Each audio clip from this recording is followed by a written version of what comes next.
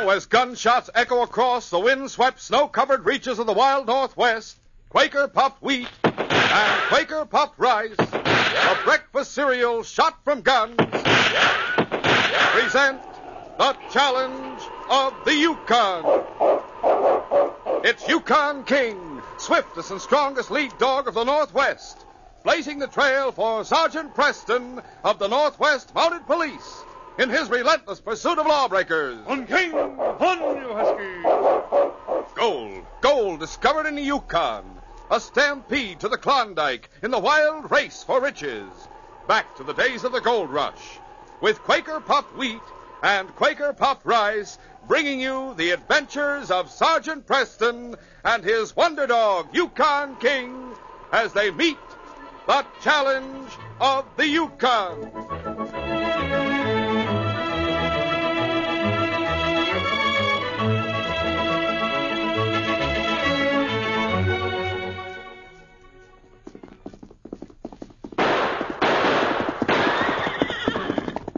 Say, when you watch hard riding, hard fighting Hollywood stars in action, remember this.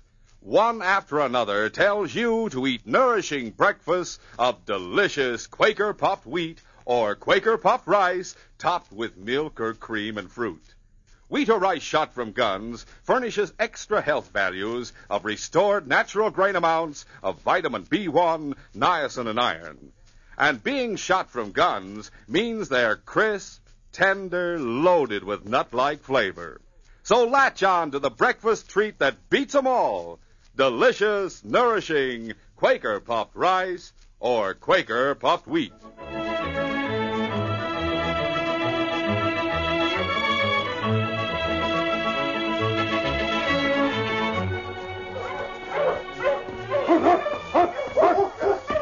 Sergeant Preston was returning from patrol with Yukon King in the lead. The team was flying over the frozen surface of the Klondike, every dog anxious to get home. They rounded a bend in the trail. Ahead, there was a man staggering from side to side. He stopped and turned as he heard the dogs. He was wearing a bandage across his eyes. The sergeant stepped on the brake. On King, on you husky. Hola. Help me. In the name of heaven, help me. What's the matter with your eyes? Uh, snowblind. Oh, here, ride my sled. I'll take you into Dawson. You, you won't leave me like the others. What others? Last night, I heard their voices. I stumbled into their camp, told them about wilderness. They fed me, and I went to sleep. When I woke up, they were gone. They, they left me. Or did I dream it all? Oh, the blankets feel good. Sleep. Yes, that's a good idea. You can tell me all about it after we get to the hospital. Dawson. I've made it. On King! On! The young prospector sank into a deep sleep, and he was so completely exhausted that when the hospital in Dawson was reached, the sergeant had to carry him inside. He was put to bed at once, and his eyes were treated. Then the nurse, Mary Come on Forsyth, now. woke him to feed him some Take some broth. more. But sleep appealed to him much more. Oh, sleep. Just one more spoonful. Now, here. Uh. All right. You can go back to sleep now. Uh. What about it, Mary? Well, Sergeant, it'll be several days before he can see. I know, but is it going to be all right? Oh, I think so. He's tough. He must be if he came all the way from Wilderness Creek on foot. In this weather? Oh, he couldn't have. I'm not sure. He was babbling something about wilderness. There was a strike there last fall. Yes, just before the freeze up. The men used boats to get there. When can I talk with him? Uh, Tomorrow morning. Fine. See you then, Mary. The following morning, Nurse Forsyth met the sergeant at the door of the hospital and led the way to the young prospector's room. His name is Jerry Marvin, Sergeant, and it's true. He did come all the way from Wilderness Creek. It took him nearly three weeks. And toward the end, he ran out of food, and then his eyes went bad. Oh, it's a wonder he made it. Yes. Oh, Jerry, here's Sergeant Preston. Oh, good. Did you tell him about the men? Not yet. You tell him. They need food, Sergeant. Food and medicine. An awful lot of them are sick and oh. in a bad way. Look at that blizzard after blizzard. The passes are choked with snow. We went up there before the freeze up, you know. No sleds, no dogs. Six of us, the strongest. Drew lots to see who'd try to make it and bring help. I was the one. You don't have to worry now, Jerry. You'll send help? We'll get a supply train organized right away, and we'll start tomorrow. Oh, good. How many men are there? About a hundred. Huh? Six teams, each team pulling two sleds tandem. That way we'll be able to carry enough. What about medical supplies, Mary? Oh, I've already spoken to Dr. Monday. They'll be ready whenever you want to load them. And young Dr. Jones and I are coming along. You, Mary? Well, from what the boy says, I'll be needed. It's a hard trip. We can't hope to make it in less than two weeks, and when we get into the passes. Oh, you don't have to tell me. But I'm a sourdough and I can take it. You know, I, it's funny. What is? There's gold up there, lots of it. The whole creek's been staked, and every claim's a good one. But nobody cares about the gold. It, it's bacon and beans that matter now. All that matters, food and medicine. Yes, I can understand that. There's one more thing I want to ask you about. What's that, Sergeant? You told me yesterday that the night before last you stopped at a camp up the Klondike.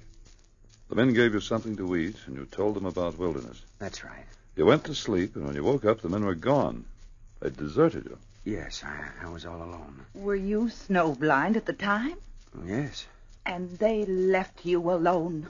Why, that's the same as murder, Sergeant. Maybe I, I just imagined the camp and the men, but their food was hot and good, and I was so hungry. Doesn't sound like imagination to me. How many men were there? Six or seven. I realize you couldn't see them. Do you remember any of their names? Let me think. Yeah, there was Lefty. Oh? He seemed to be their leader. He gave all the orders. Lefty Daniels, Sergeant. Probably. Probably the whole gang. The one that held up the express office in Forty Mile and killed those two men. Yes. Oh, Jerry, you're lucky they only left you. It's a wonder they didn't kill you. Probably thought they were killing him by deserting him. You told them all about wilderness, Jerry. Yes, Sergeant. The gold and the sickness. Yes, they kept asking questions, and I answered them all. That's bad, Jerry. It's going to be hard enough, the trip to wilderness. After we get there, I'm afraid we'll meet Lefty and his gang. Lots of gold and men too weak to defend themselves. Lefty couldn't ask for anything better than that. There's no telling what we'll find. From the hospital, the sergeant hurried to headquarters and made his report to the inspector. The inspector approved his plans for the relief of the Wilderness Creek miners, and then considered the problem of Lefty Daniels' gang. And you think that they may be heading for Wilderness, too, It's possible, sir. except that they must be running short of supplies themselves. They head for a starvation camp. I don't know, Sergeant. They might pick up supplies en route, sir. Well, that's true. Where was it this young prospector stumbled on their camp? On the Klondike. I should judge a little bit beyond Leota. He couldn't have walked more than a couple of miles before I picked him up. Hmm. Well, Webster's assigned to the case. He'd better get up there. It snowed yesterday, sir. Won't be any tracks to follow. But six or seven men traveling together. Someone will have seen them. Webster should be able to pick up that trail. If it leads to Wilderness, you and Downey might arrive in time to give him a hand with the arrest. He may need help, sir. If they're heading south, he'll get it at Whitehorse. At any rate, your first job will be to see that the supplies get through. There's you and Constable Downey. You'll need more drivers. Doc Jones can drive. I can get Bill Stewart, Jeff Smith, and Harry Lang. They have their own sleds and teams. That means that we'll have to furnish three teams and six sleds. We have them, sir. You're free to draw on our commissary, of course, and you can charge anything else that you need to the force's account. Thank you, sir. Go to it, Sergeant, and the best of luck. We may need it, sir. Come on, King. Stewart, Smith, and Lang were contacted and agreed to make the trip with the sergeant. By late afternoon, the 12 sleds were loaded. And since there was a full moon, it was decided to start at once. Nearly the whole population of Dawson gathered around headquarters to say goodbye and speed them on their way. Bye, Sergeant.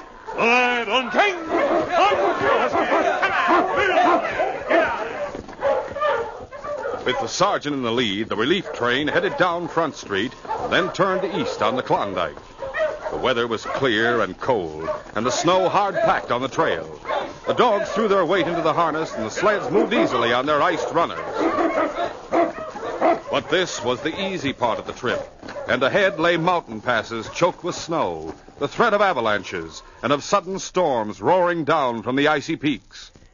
They ran into their first blizzard when they were a day's travel beyond the headwaters of the Klondike. Luckily, there was a trading post there to give them shelter for the night. But the owner had bad news. You're sure it was Lefty Daniels? Well, absolutely.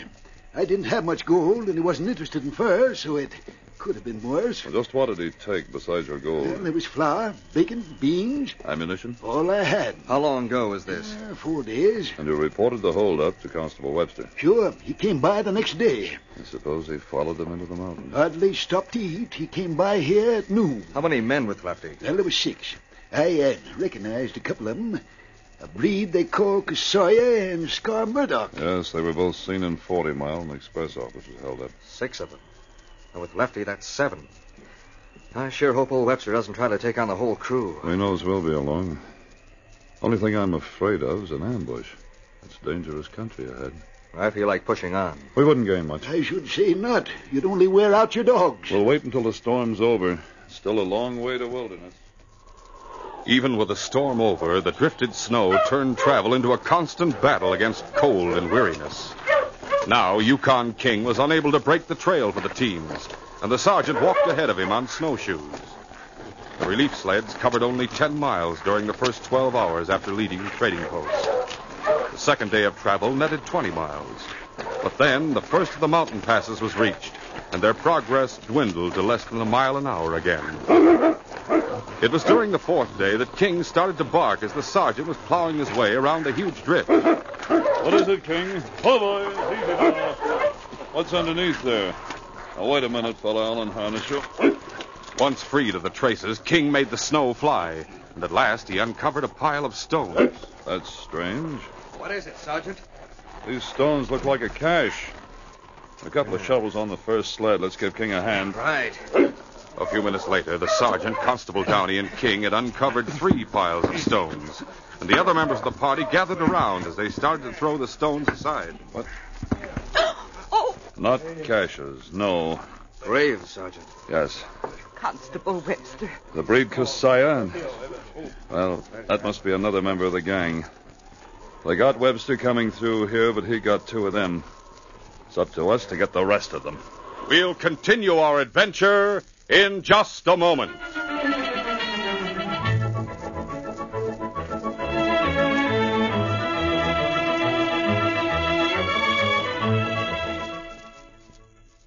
Say, fellas and girls, do you know what's coming this month? Valentine's Day. Gee, aren't Valentines a wonderful idea? Hmm. I wonder who's at the door. Why, it's our old friend, the postman. Say, am I glad to see you. Howdy, young fella. Don't tell me you're already delivering Valentines. I sure am. Got any for me? yep. Here's a pretty special one. Oh, gee, it's real pretty. And it says, to my Valentine. That's to you, Bub, from my wife. And it says here, thanks for tipping us off to those wonderful breakfasts of Quaker puffed wheat and Quaker puffed rice. My husband has been a different man ever since. That's me. You? Yep. Seems like I never used to care much for breakfast. Oh?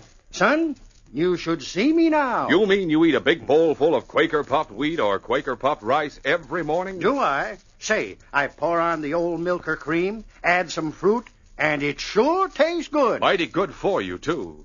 Quaker puffed wheat and Quaker puffed rice furnish added food values of restored natural grain amounts of vitamin B1, niacin, and iron. Well, that's why I eat Quaker puffed wheat one day and Quaker puffed rice the next. That's a swell idea. And say, fellas and girls, don't you miss out a single day either. Buy both delicious kinds Quaker puffed wheat and Quaker puffed rice. These swell tasting, ready to serve cereals are shot from guns to make 'em crisp and tender. Yes, these king size premium grains are exploded up to eight times normal size to make 'em bigger and better tasting. Ask Mom right now to order big red and blue packages of delicious Quaker puffed wheat and Quaker puffed rice. Shot from guns.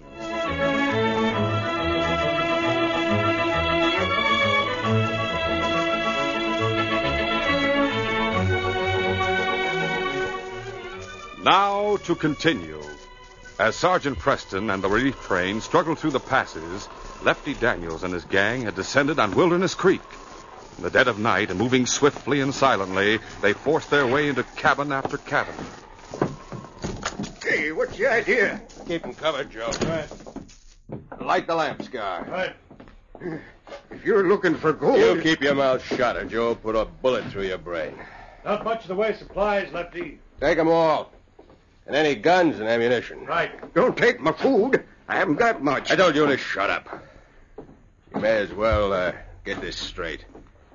My name is Lefty Daniels, and I'm taking over Wilderness Creek. I've set up my headquarters at the big cabin near the mouth. You can't. I can do anything I want to, and this is the way it's going to be. All the food will be stored in my cabin. We're not going to bother looking for your gold. You probably got it well hidden. But you're going to use that gold to buy food. A pound of flour for a pound of dust. What? Well, that's the price now. It may go up. You won't get away with this. The Northwest Mart will be coming after you. We've already taken care of the Northwest Mounted. Tell them about young Marvin. Yeah. The one you sent to Dawson for help. He paid us a visit one night. He was snowblind. We left him to die by the side of the trail. You won't be getting any food from Dawson. If you want to eat, you'll have to buy from us. Better get up early and start digging. Gonna cost plenty to live on Wilderness Creek from now on. But the men who were sick. You'll have to pay their freight as well as your own. Hey, got everything, Scar? All there is. And let's get on to the next cabin. Come on, Joe. Two days later, Lefty and Scar were weighing out gold dust in the cabin Lefty was using as his headquarters. Lefty, we got enough of this stuff. Think so? Yeah, it's every ounce the miners have. Well, they can thaw out the ground and dig more. But we've got enough. Why not load up all the supplies we have and start out tomorrow? Follow the wilderness to the Yarrow and the Yarrow to the Porcupine. We could be in Alaska in less than a week, and we'd be safe. With all the gold we'll ever need. There's more here for the taking. But we'll be paying for it for food. No matter what you charge, the food's worth more than the gold. Lefty, Yeah, what's the matter? I just been up to the ridge. I had these binoculars with me, and I took a look back to the east. The way we came, across Wolf Valley. Well, Way on the other side of it, 20 miles, I saw some sleds coming through the pass. you couldn't see that far and be sure. From way up there, and on a day like today, of course you can. Uh, probably a pack of wolves. Oh, no. Just specks, I grant you, but I studied the way they moved. Single file and in a straight line. Sleds and dogs and men. If you don't believe me, take the glasses. Go there and see for yourself. How many? I couldn't tell that for sure, but a lot of them. Could Marvin have got through to Dawson after all? That's what I'm thinking. Uh, somebody might have found him. That mountie you shot. Marvin could have put him on our trail. No, he picked up our trail at the trading post. If those sleds are loaded with supplies, there'll be other mounties with them. Yeah, that's right. Well, what of it? What of it? Let's get out of here. To have them breathing down our necks all the way to Alaska? No, thanks. This isn't such a bad break. What's good about it? Scar was just saying that food is worth more than gold up here. We can use some more supplies. Go after them? Why not? The snow's deep in the valley. They won't be able to get more than halfway across it today. And it's the dark of the moon. They'll build their campfires big to keep off the wolves. Once we surround the camp, it'll be easy. When darkness fell that night, Sergeant Preston called a halt near a grove of pine trees. So there would be plenty of branches for a windbreak and plenty of wood for the campfire. The dogs were fed, and afterwards the relief party sat around the fire eating bacon and beans. Hey, listen. It was then that the wolves began to howl from the ridges surrounding the valley. The dogs whimpered and burrowed deeper into the snow. All except King, who stood erect and challenging, a low growl in his throat. Sounds like the packs are gathering. Pack, Sergeant? Well, if there's only one, it's certainly a big one. They call this place Wolf Valley, don't they? Yes, Mary. We'll have to take turns staying awake tonight. Make sure the fire's kept up. But, Sergeant, there's so many of us. Wolves are afraid of men. Up to a certain point, they are, Jim. It's our dogs they'll go after. We're not exactly arguing, Sergeant. With a fire and someone watching, you don't really believe there's any danger, do you? We'll oh, see. When a wolf gets hungry enough, he isn't even afraid of fire. Oh, I've been around the Yukon longer than you have, Jim. I know what I'm talking about. Evening meal was finished, but no one felt like going to sleep. The howling of the wolves stopped. Still, there was no reassurance in the silence. It was dark, very dark. Nothing could be seen beyond the circle of light cast by the campfire. Until suddenly, There. That's the first one. First what? The first wolf. You see where I'm pointing? Those two points of light. Green. Mm-hmm. I'm right, aren't I, Sergeant? Yes, Mary. That's Wolf. I'll take him off. Got him. That's one down. Good shot, Jim. Hey, what's that? More wolves. We've given them a meal. They're starving, all right. Might as well hold our fire until they start coming closer. It was not long after that a great circle seemed to be drawn around the camp. A circle etched in pinpoints of green fire. The men waited with their rifles ready, firing only when a wolf started toward them. Here's one, Jeff. Then the horrible snarling would echo through the night, once more to be succeeded by an ominous quiet, a silence charged with suspense. King crouched by his master's side, alert to every move his wild enemies made. And it was he who gave the warning as the wolves made their first charge on the sled. Come on, pour lead into them. Keep firing. Drive them back. The charge was driven back. The gaunt, ghostly bodies faded into the darkness. But for some reason, King still was uneasy, sniffing the air and growling. Oh, where are they, Sergeant? We can't even see their eyes now. They haven't gone far. King may have caught the scent of another kind of wolf. Well, We're not far from wilderness. That's what I mean, Jim, and this fire can be seen for a long way across the valley. We've got to have the fire to keep the wolves back. There are some animals more dangerous than wolves. Down, everybody. Help me put out the fire. Throw snow on it and then crawl away. Quickly, the men followed the sergeant's orders. In a matter of seconds, the fire was out. But Bill Stewart had caught a bullet in his leg. Mary crawled to his side and bandaged it as the sergeant gave direction. Don't anyone fire. We'll only give them a target. They can't see us in this light any more than we can see them. You think it's Lefty and his gang? I'm sure of it. Well, the dark may protect us from them, but the wolves can find us. What if they come after us again? We'll have to shoot. Wait for my word. It was agonizing, waiting in the cold and darkness, with every muscle taut, eyes and ears alert for the slightest movement.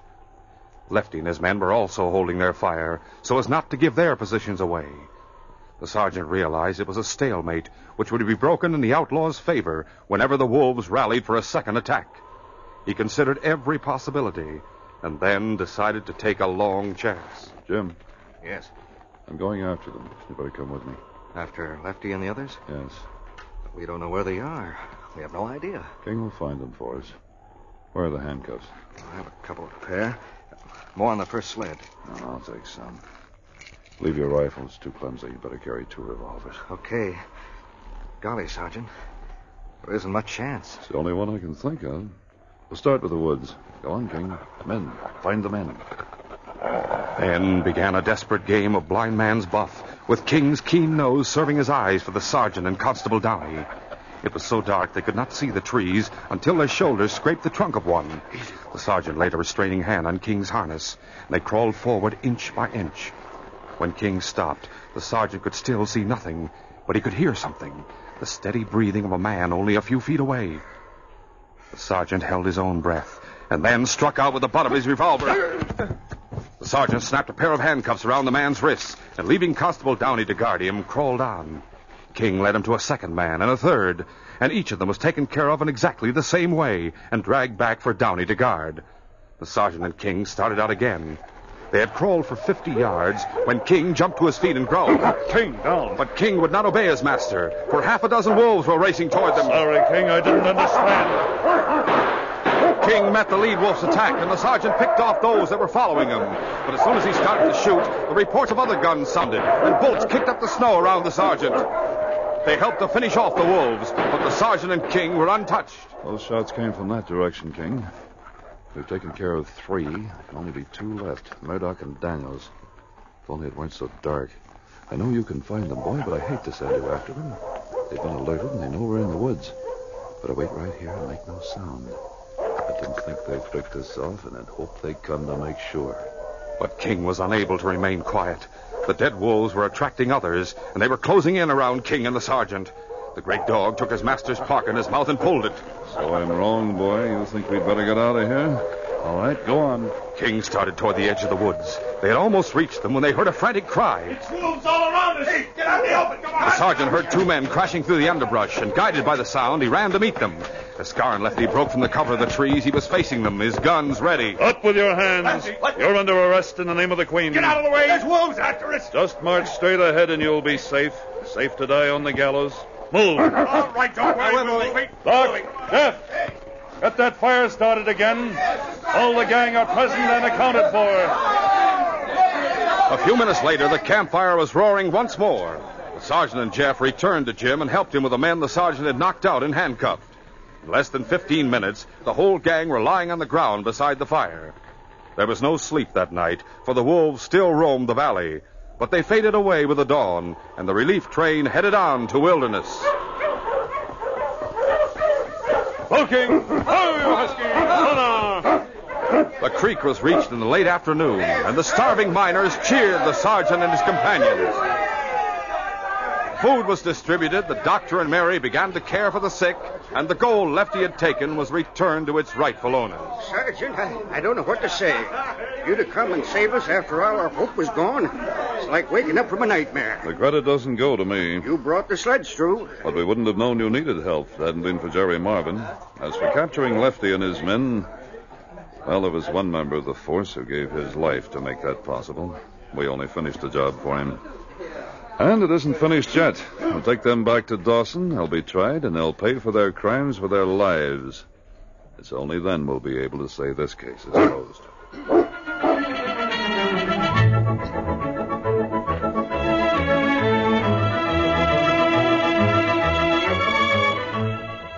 In just a moment, Sergeant Preston will give you a preview of Monday's adventure. Fellas and girls, on your mark, get set. Hey, stop! Hold everything. What's the matter? I was just going to tell all the fellows and girls to race to the store and get the big red and blue packages of Quaker puffed wheat and Quaker puffed rice. Oh, I thought you were going to tell them about the thrilling surprise that's coming next Monday. Oh, no, no, that's a secret. I'm not supposed to say a word about it till next Monday. And then, oh boy, oh boy. Yes, then, fellas and girls, you're going to get in on something terrific. We can give you just this hint. It's something wonderful that you're going to get from Quaker puffed wheat and Quaker puffed rice. The swell tasting, crisp, nourishing breakfast cereal that's shot from guns. And it won't cost you an extra penny. Not an extra red cent. So don't miss out. Be listening. Listen Monday when Sergeant Preston and Yukon King meet the challenge of the Yukon in the case of the jailbreak. Bat Nelson was the most vicious and brutal outlaw in the Yukon. And when I finally captured him, everyone drew a sigh of relief. But it turned out we were congratulating ourselves too soon because Bat broke jail the night after he was captured. That jailbreak put a blot on the record of a fine young recruit to the force. It also led me into one of the deadliest gun battles I've ever fought. Be sure to hear this exciting adventure Monday. These radio dramas, a feature of the Challenge of the Yukon Incorporated, are created by George W. Trendle, produced by Trendle Campbell Enterprises, directed by Fred Flowerday, and edited by Fran Stryker. The part of Sergeant Preston is played by Paul Sutton. They are brought to you every Monday, Wednesday, and Friday at the same time by Quaker Puffed Wheat and Quaker Puffed Rice. The breakfast cereal shot from guns.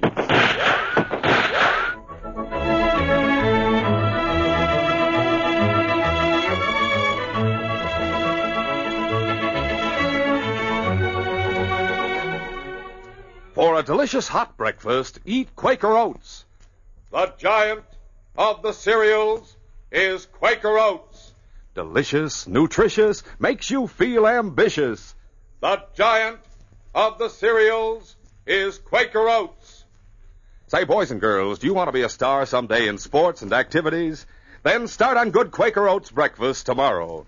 Cause nourishing oatmeal gives you more growth and endurance than any other whole grain cereal. Remember, Quaker and Mother's Oats are the same.